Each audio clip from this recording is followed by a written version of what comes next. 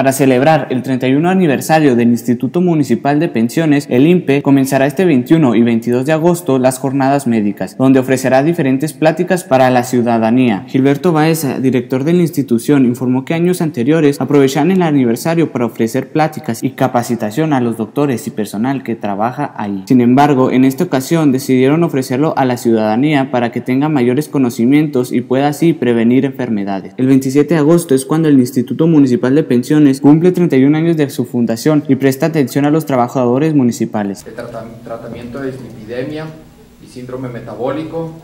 Habrá una conferencia de fisiología de la risa que será impartida por el doctor Jesús Eduardo Esparza.